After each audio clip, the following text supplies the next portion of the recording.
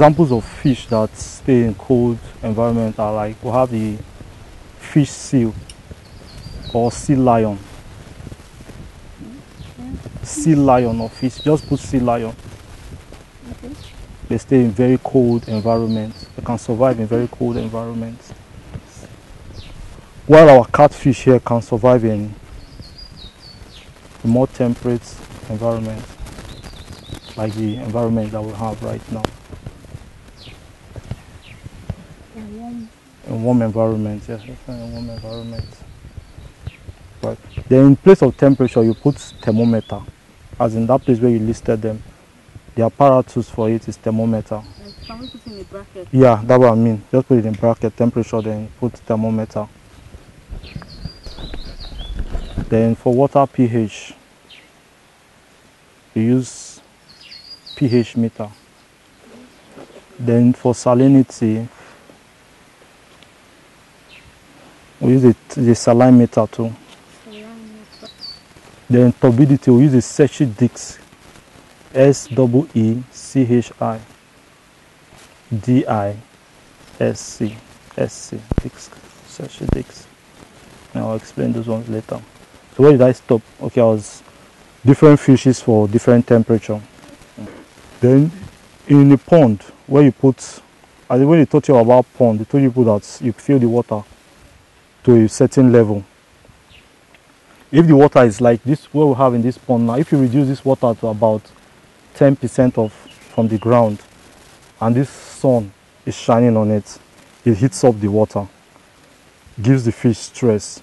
At that point, the fish will not be able to eat. If it's a gravid fish, as in a fish that already have egg, it will release the eggs out. You understand? So temperature can really affect fish because if you put a fish under extreme temperature, it won't eat. And something that is not going to eat will not grow. And so that's why we normally raise the water to at least about three feet. So your water should not be below 1.5 feet so it doesn't get too hot for the fish. So what's the next one now? Water, Water pH. pH. Okay, now let's go to water pH. Water pH is water pH. We use water pH to measure the level of acidity and alkalinity of the water. Hmm? I said we use water pH to measure the level of acidity and alkalinity of the water body. Yeah, you too. We put a. I'm going to give you a some list. You you take from zero, from one to four point one to five point five. One From one to point four point five. Uh, five point five. I was going to say one, 1.5. No, from just write one then dash to four point five. One. Mm-hmm, to five point five. Sorry, to five point five. very acidic. Then from 8 to 14, very alkaline. Then 7.0, only neutral. Neutral.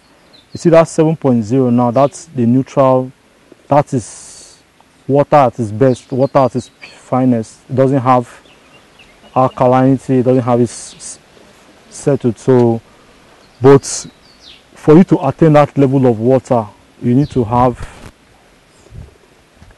like a lot of filter and some other um, like calcium carbonate you are used to add to the water to make it neutralize. Our normal borehole here is 5.5. Our normal borehole here is for 5.5. But like that 5.5 now we manage to use it to hash because we'll have to pump the water a day before we do it. So by the time we pump it, we pump it with pressure. So that pressure now reduces the level of acidity in the water. So by the time we want to use it in the morning, it will be probably like 6.5. Right now, currently, uh, when I did my IT in Lagos, then we did a a sample test of all the waters that we were having in Lagos after that time. That was about 2007 or 2008 thereabout. So after checking the whole water, we found out that there was only one water at that time in Lagos that was 7.0. So even the water we drink is supposed to be 7.0, supposed to be neutral.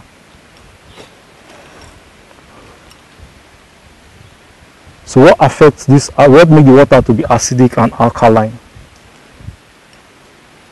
Do we have any idea? Okay. Um, acidic. Hmm. Maybe the um, the activities that maybe um, all these um, industrial people carry out, maybe releasing um, toxic material into the floor, into the air, things like that can make water to be acidic. Okay. Okay. That's that's good enough.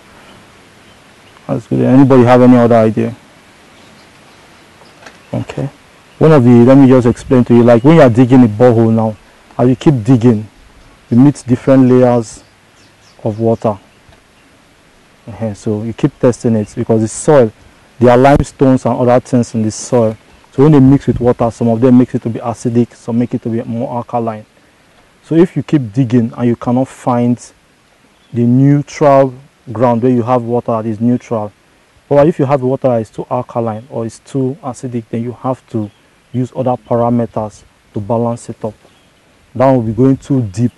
People are not supposed to go in deep, deep into water quality. I just want to give people the real essence of what, why water quality and why it happens like that sometimes. Okay. So like if there is heavy rainfall now, the water level goes high. The level of acidity reduces a little bit. But when there is no rainfall and the water table is going down, the level of acidity tends to increase a little bit. I'm talking about your sumo now, because that's what we're going to be using to pump water for our fishes. So, okay, what's the next one? Salinity. And salinity, that is the freshness of the water.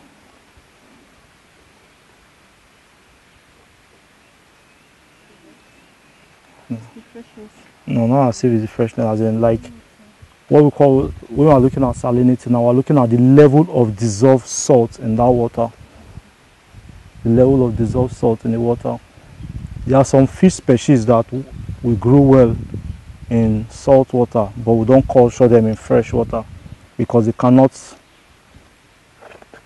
survive the level of salinity in fresh water, but they can survive the level of salinity in salt water. Like there's a particular Macrobrachium now worked on it years back. Your normal crayfish. It comes to the salt water. It goes to salt water to lay its egg, then come to the fresh water to stay. So if those eggs are to come out, that water has to be salty. So that's the difference between salinity and fresh water, and salinity and fresh water. So it varies. So different species, some stay here while some stay there. Like scumbia now, you cannot see scumbia in fresh water. Doesn't have any business being in fresh water. Stays in the sea. So it's, it's only can survive well in saline water, but cannot survive well in fresh water.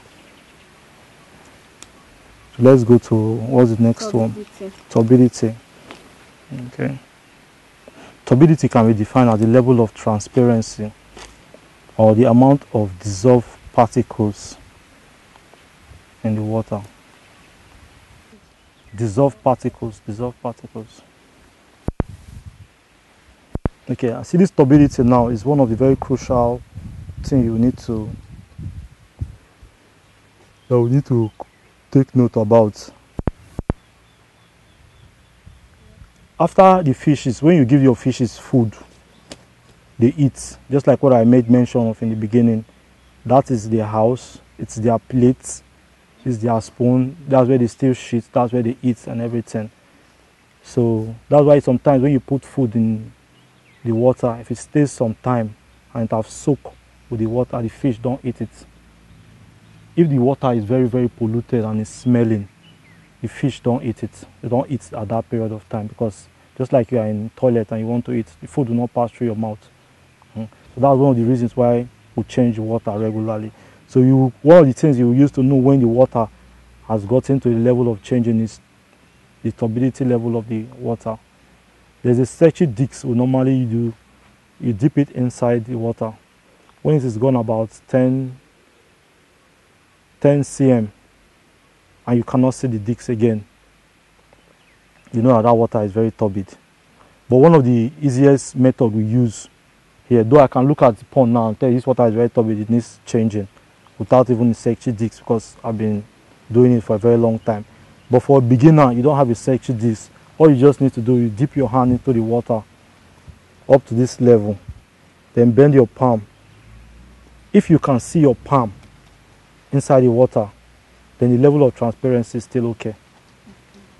But if you can't see your palm, then you need to start changing that water immediately, as soon as possible. That, water is highly polluted. So one of the major causes of polluted water is the excrete that comes out of. And one of the major sources of dissolved oxygen, the excrete, the remains of food. So these excretes and these remains of food. But let's not let me not go too deep into that because I'll start teaching you about bacteria and algae and all that. But let's stop for now. People are not supposed to go that too far. That's that about water quality. Do people have any question? Okay. I have a question, but it's not about what we are talking right I- now. ask, ask that. Okay. The other day we talked about um, treating the pond before you put your fish. Treating the pond with uh, Lime. with droppings. Yeah. That is the organic way. I want to know if you want to use this earthen pond, are you still going to use the same method you use in treating the concrete pond, in treating the earthen pond, Mm, like the- one over here? like the for the eating pond now Yes. if you want to treat an eating pond there are two ways you treat it or if it's a new pond or it's an old pond Okay. both of them you still do the same treatment to it what you do now you maybe like what is a new pond now you just finish digging it Okay. you spread your soda ash or lime Lime. calcium carbonate CO, CaCO3 did they not teach people about that one They did. I thought I heard him the other time talking about calcium carbonate you spread calcium carbonate around the pond Okay. before you put in your water. You after putting your water, then you can now put your fowl drop in Okay. to fertilize the water. So you still do that same process for Yes, tarpaulin yes. No, pond? no, for tarpaulin, you won't fertilize tarpaulin pond. Okay. You know, just put your water in and, Straight and put the your fish inside there. But for tarpaulin, if it's a new tarpaulin, you have to wash. Okay. You wash with salt. You can wash with salt. Some people wash with formalin. But your advice, you just wash with normal salt and omo. Okay. And just use normal salt to wash and use omo. That's all. Okay, it's for a concrete pond that you do that. Yeah, for concrete pond, you can do fertilization for it because tarpaulin pond, you are going to manage pollution very well. Okay. You understand? The tarpaulin does not accept much pollution like the way concrete pond will accept pollution. Yeah. Mhm. So tarpaulin, you are going to be running the water constantly. More if it's like in if this was like if we're using a tarpaulin pond, we run our water frequently, more frequent than we are running it now. Now we just leave it when the water is very dirty, when it's very turbid, then we just say okay, let's just reduce and add more. But if it's tarpaulin, you won't wait for the water to get turbid. Oh, They'll start dying. Okay, this like The mortality Okay. mm, is usually very high, so you have to be very careful when you are using tarpaulin pond. Okay. Mm. There's another method of um, How Hmm? can I identify the tarpaulin pond? Tarpaulin pond is just that plastic tarpaulin now. Like this canopy now, the canopy they use in doing pond now. Some people use it to do swimming pool too.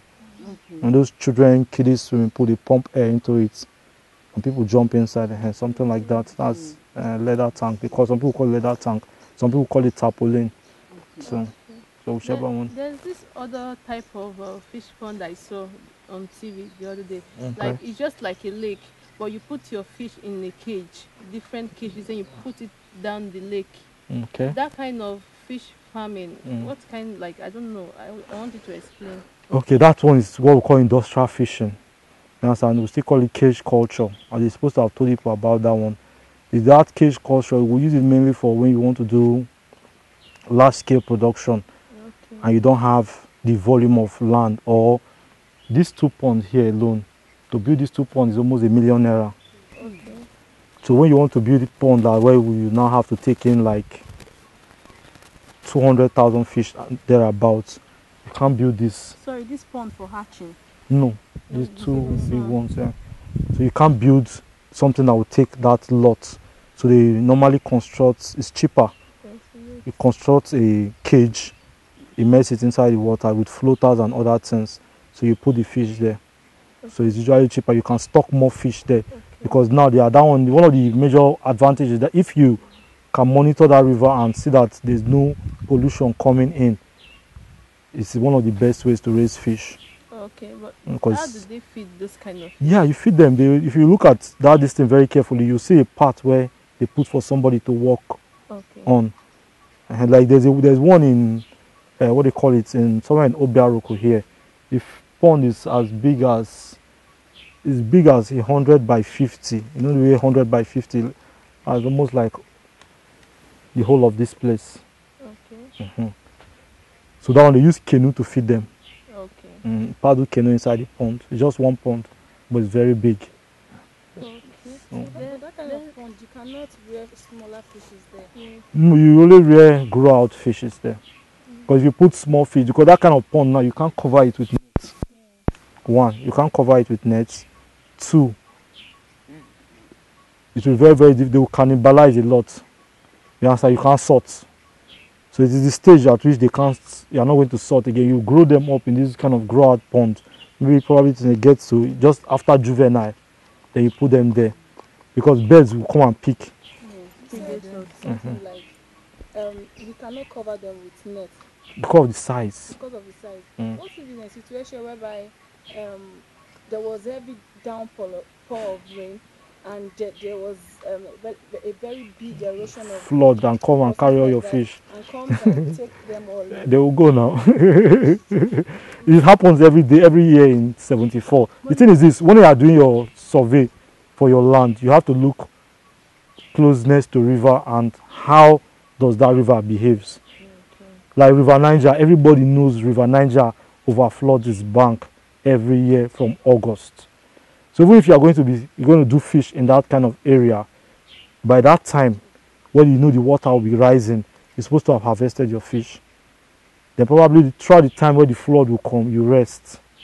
Then when the flood goes back, then you stock again. And you talked about putting them in a cage. Please, what Mm. kind of cage? Is it See that if you stand up now and look at the back, you see a mini cage there. Those ones are used for tilapia. And those ones we use them for tilapia too. So why Um, do people prefer to um, just make use of uh, catfishes? Because I'm hearing um, Tilapia. first time here. Are you serious? You know, people it. Ah, It's like you don't used to frequent Shoprite. No, because in my in my location, Mm. I don't think I've seen tilapia. Yeah. If you go to Shoprite, So there's, used there's to tilapia there. I don't know other fishes. No, there's tilapia. There are many, many other fishes. Many, many, many other fishes that can be cultured. Then Just that the one that is more economical. Kind of uh, turbidity. Yes, yes, yes. So the, the Oreochromis and tilapia mare we have now can survive in this kind of temperate region. Mm. Um, so you made mention of um, examples of fish that can stay in a cold environment. And Mm. you said um, um, sea lions. Yeah. Please, what are the sea lions? that are there? Okay. You've not seen those things that look like s- dogs that comes out in water and go back into the. Them, I think they're cannibal. Okay, those fish. Yes, yeah, they comes out like it's not like shark. They call it seal. They call them seal, fish seal. But people call it the common name is fish lion. Call them sea lion. They look like They look like they have whiskers. Uh-huh. Eat them, please. People don't really eat them like that. People eat them. Why you say people don't eat them? People eat them now. Is there anything that people don't eat? But that they are not common. They are not common. Yeah, they are not common on this side. People eat them, but not they are not common here. If they were here, they would have gone to extinction. Self. So is it the same way you feed the normal catfish? That's how you also No, everybody have their own different feeding habits. Catfish is carnivore. Tilapia is omnivorous. Omnivorous that meaning that it can eat anything that it wouldn't, that is not alive. And so if it comes and it meets decayed option, can pick and eat. Then mainly it eats leaves too. So we, we used to, I used to feel, I used to have this notion that tilapia fish were herbivores till I came to work with them. And I saw that they're not just herbivores, that if you, you can even train them to become, they can eat anything.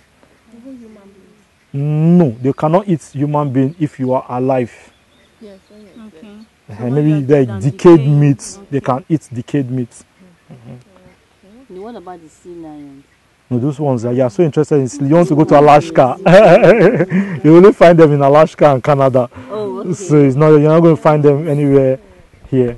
Mm. The only one you will find that is big like that is hippopotamus. Mm. Those are the ones, hippopotamus is very common in River Niger. So you talked about um, the leather pond. Yeah, the tarpaulin pond. tarpaulin pond, Mm. as you called it. Okay, you said the mortality rate is high. What's your advice to people who actually want to venture into fishing? And that's the only option. You know, that can you can actually make use of it in a small space, or you know, a space that you can just Yeah, manage. That is what I'm saying. You have to be able to manage your water. Constant changing of the water. You understand? The thing is this, as they are eating, they are pooing. So just like if you you see this water now, if you change this water today now, it's very, very clean. It can be clean like that too. But the moment you put in food and they eat and they release the ones that is in their system, the whole water changes color. okay. So you have to keep changing the water. Okay. So you talked about um, the turbidity of the water. Mm. You have to check, so before Just you put your change hand put in your hand And and look at it. bend your Palm your towards palm you. Towards you. Mm. What exactly actually stains to your palm for you to be able to detect? you'll be if you are able to see your the color of your palm. Know your palm is very bright. So if it's inside that water and you can't see your palm, then you know that that water is is not good. Just that I've removed this water now, I'll have used this one to do experiment for you people. No, I've, the water is completely down. I have another question. Um, let me say I'm interested in hashing myself, like doing the artificial spawning myself. If I want to do it, what kind of um, pond do you advise I use in a situation whereby I can't do a tin or concrete pond You can still use tarpaulin to spawn now. to spawn? Yeah, you can Okay. still use tarpaulin. You can still even use the other white tank. That's the, the rubber. The kind of rubber, like yeah, they call it VAT. Yeah, exactly. There's the one that is specially made for spawning. Yeah, I saw it in Lagos some time back. It just it's not very big. It's made they make it from the company direct. They just make it just for spawning. But they don't mass produce it because people don't buy much. So if you want it, you go to the company, you order for it, they'll give it to you. So when you mm. talk about pumping with pressure, is Mm. it actually the heat that reduces the acidity? No, no, no, no, no, no, no, no. The pressure of the water, the pressure is coming in. Okay. And as it's creating those bubbles and all those things, eh, it's reducing the level of acidity So when in you the say water. stir also, that you can still stir it too. Uh, it's to still reduce the level of acidity in the water. Okay, sir, like for example, you want to go into fish farming. Mm. As a beginner, is it advisable to start with an earthen pond? Depend on what you want to do. Like you want to rear catfish? Mhm, And depend on the land that is available to you. If you have a swampy land, you cannot go and building concrete pond on swampy land. Now that's Okay, Madness. The, the land is high. It's not. Swampy. it's not swampy. Then you cannot dig earthen pond in a swamp in a high land now. You have to do concrete or tarpaulin. Okay, let me say it's normal. It's not high. It's not low. no, like you see, before you do earthen pond, now you see one of the things we're, we're having advantage here for this earthen pond now. See those pipes there? okay. if we release this water here, they all come inside here. That's one of the advantage we have. If not, we would have not been able to sustain this water. If I lock this place now, water don't come in here for the next two weeks, this thing will dry. Not if it will dry completely, but it will go too low that it will now start giving the fish problem because of the so, heat. So, so what kind of location are you? So if you want to do con- um, um, earthen pond, look for swampy area okay. And do your earthen pond. If you want to do concrete, you do it on a highland. Okay. But the earthen pond, do they still change the water? Uh, it depends now. Depends on how often the land sip water in. Sir, if But if you want to harvest, you have to pump the water out and bring the fish out. Okay, if I got you right, you said all the water from here goes inside there. So it means that the turbid water that you yeah, pump goes out inside. from here Goes goes inside. inside. Yes, yes, goes inside. How does that help the fish? Ah, do this is earthen pond. Doesn't really affect them that much. so the turbidity of the water doesn't really affect in an earthen pond. yeah, it will not really affect them much compared to a concrete tank because you know why? The ground has pores. It's receiving those water. Do you normally replace this water? That's why I'm just saying. As water is as the heat is hitting the water is evaporating. The ground is collecting some too. It's mm. soaking some. So that's why the water keeps going down. Mm. So we need to keep filling it. Okay. Mm. But harvesting your fish now. But it's not only the turbid water that comes in. Okay. Other water still comes in too. water. Yeah. So it's not just only the turbid water that is going there like that. Right? Okay, Okay, so- Like now, this uh, where these fries are, and the ones we hashed, now we're flushing that water. That water is not turbid. Yes, because you've not put feed. We've in. not put feed. No, we've been putting feed inside, but it's not turbid yet. But just flushing so that you can increase the level of dissolved oxygen in the water. Because fish they need oxygen, but this one now why they are not like if you come to a pond now, you see the big ones are coming up to gasp for air. But these ones are too small. They don't have that techno that idea to come up to gasp for air. So they are they are using up the oxygen inside the water. So if you don't keep flushing and giving them new water, by the time they use up the whole oxygen, they start dying. Mm, But until before they start coming up to start taking air from oxygen from the Okay, sir. What kind of fish uh, are you culturing here? catfish, normal catfish. Is it okay for them, like the water? Sure, it's okay, it's okay. If it's not okay, you'll have been seeing them floating, you'll be dead by now. okay. Then, then sir, like now you want to harvest your fish when you use an uh, earthen pond. Like, will you get everything out, or you still have some remaining? Yes, you know, like like this thing, earthen pond now. It's usually why most people don't like using earthen pond because it's usually very difficult to harvest. After harvesting this fish now, you will need to dig. You understand? Like if you want to sell now, after you sell your fish now, you have to pay some boys to come and dig the pond round. Because these catfish, they are mud fish too. And one of their major, one of the their habitat is to dig inside mud. You see, like I don't know whether they taught people when they were teaching people pond construction. We don't dig earthen ponds straight. Did they teach people that one? We dig it in a V shape because they eat. If I drain this water down for you now, this was not. They didn't do this work well. All these ones they just they were just done by students without supervision. Eh, If you look at it now, the fishes are already eating the walls.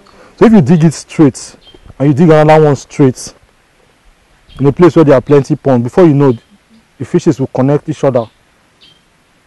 They'll do a channel where they'll be connecting each other, and by the time a big fish swims into where juveniles are here, you know what will happen. So that's why when you want to dig an earthen pond, you dig it in a V shape, so that no matter how, more especially in a place where they are going to be putting many of many other ponds too, so they don't eat into the other pond. If I bring this pond down, you see holes, holes where the fish is because they always that's their work. But that only happens in um, nothing. Yeah, that will- even in concrete, if you go to concrete, you see them. If you go there now, I'm not giving them food now, you see them scratching the wall. They are one of the major causes why we do renovation of pond because they it's they scratch it. They use their teeth to scratch it. They are it's one of the things that they do because they don't have any game to play. They don't have TV to watch.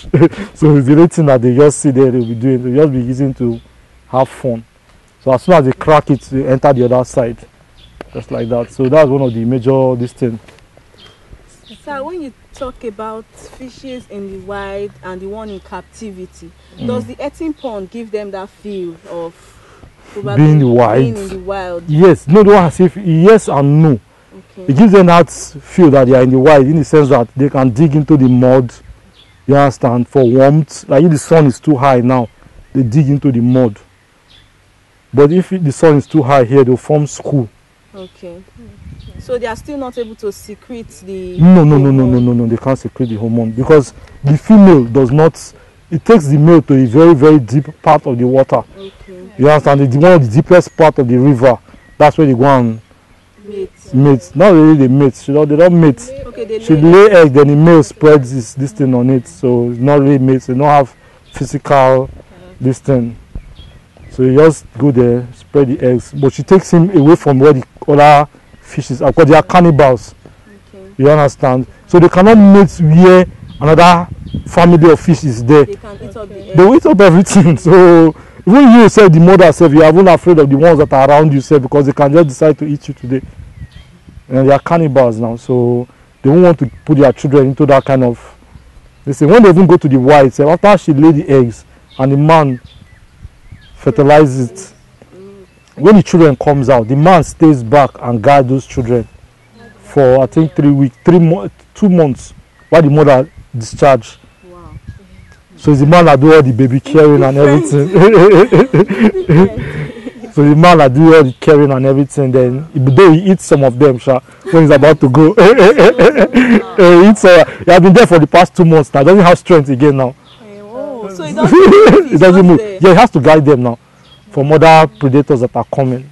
So he eats some of them and leave them after two months so they are on their own from there. Okay, so sir, with all these things you've said about the eating would you advise a beginner to start with an earthen pond? Well, I wouldn't I really advise a beginner, but depend on what you have. I won't advise a beginner to start with earthen pond, but depend on what the person have. You understand? Like an earthen pond now, you see this pond now is not covered with nets. Okay. You understand? So your fish have to be big. They have to be outgrow juvenile before you bring them inside here. You understand? Because where pool, what I'm saying you have to let them get that size because Okay. you're not going to sort again. I know so many people that there was a time we supplied one man fish, about 3,000 fish, fingerlings. He didn't tell us he was taking them to 18 pond. So he just took them and put them inside the 18 pond. I was feeding them. Birds will come, eat. Then at the end of the day, the man came back when he wanted to harvest. He brought out the fish out and saw that the fishes that he had were about 300. He started shouting that this thing, but inside that 300, there were like 10 of them that were very, very, very, very big. Ah, so those ones So those ones have been eaten up eaten. too. So you will not be able to sort.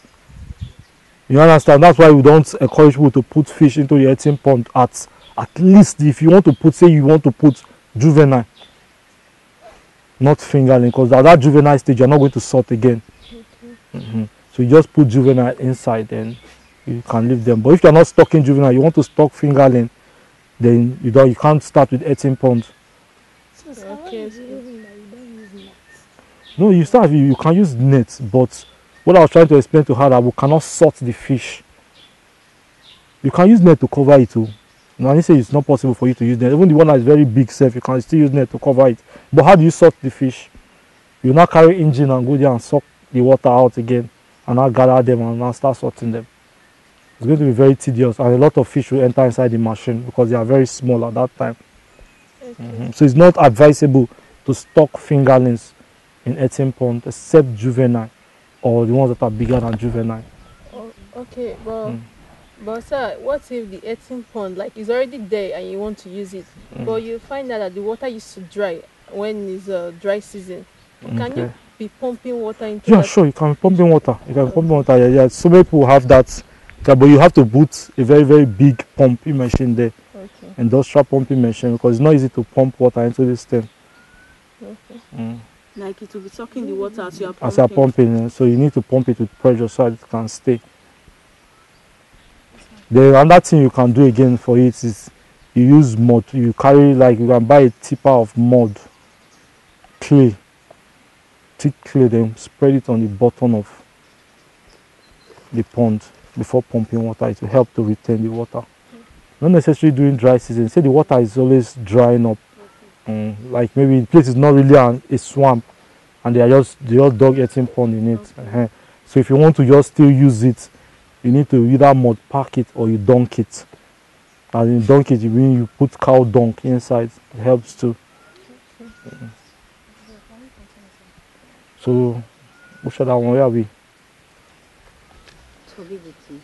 I think we finished anything about water Yes, we quality.